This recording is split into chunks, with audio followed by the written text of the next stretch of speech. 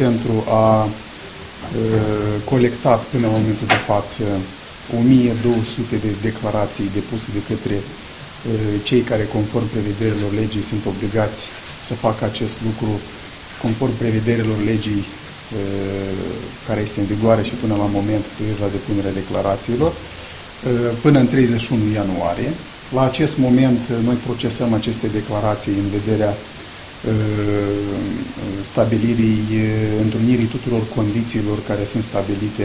condiții de formă care sunt și de conținut care sunt stabilite ca reguli obligatorii pentru declarațiile funcționarilor. Totodată vreau să vă informez că începând cu 1 martie anul 2012 intră în vigoare prevederile noi legi cu privire la instituirea Autorității Naționale de Integritate, Comisia Națională de Integritate, care va fi o instituție specializată în controlul uh, veniturilor funcționarilor și uh, controlul declarațiilor cu privire la conflictele de interese uh, care au loc în cadrul diferitor instituții atunci când funcționare și exercită funcțiile acolo unde au fost desemnați. Conform acestei legi, până la 31 martie, toți funcționarii publici uh, obligați să depună declarație trebuie să depună încă o declarație uh,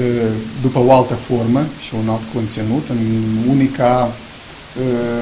deosebire constă în faptul că pe lângă declarațiile cu privire la venit, funcționarii sunt obligați să depună până la 31 martie către Comisia Națională de Integritate și declarațiile cu privire la conflictele de interese.